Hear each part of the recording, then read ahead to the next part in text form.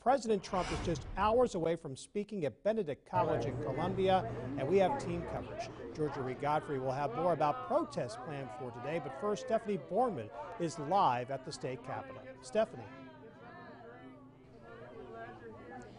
I am standing right across the street from the front entrance of Benedict College and take a look. Things business as usual here on Harden Street in the heart of Columbia. Once the president lands at the airport, officers will shut down all the roads from the airport to the college. As you can see, law enforcement is running a tight ship today. Officers have the front entrance of the school secured.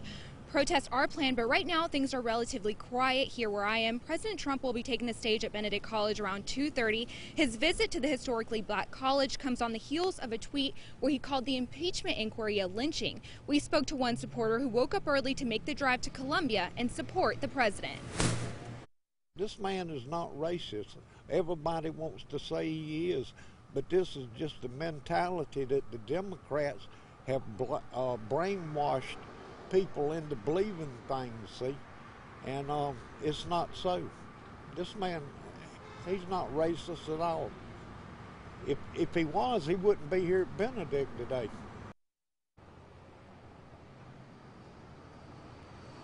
According to the White House, President Trump is receiving the Bipartisan Justice, Justice Award. It's the highest honor that can be given to a public servant. Reporting live, Stephanie Borman, 7 News. Stephanie, thank you. Now